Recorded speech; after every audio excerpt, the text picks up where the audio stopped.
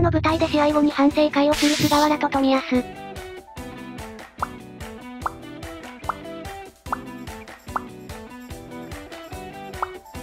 トミーと菅原は試合後に反省会。何話してるんだろうか。すあそこに坂がいるなんて思わないよなトミー。間違いない。富安と菅原がユニフォーム交換してるの熱い。日本人として胸熱なシーン。菅原くんと富安ユニ交換したんだ。復帰戦で対戦は熱いね。嬉しい。ユニ交換してないのかなと思ってたので嬉しい。菅原は良い場面もあったけど悔しい試合になっちゃったかな。経験だね。何より富復帰が嬉しすぎ。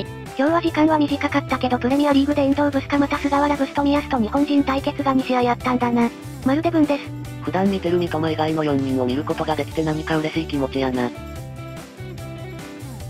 プレミアで切磋琢磨してるのかっこよすぎるな。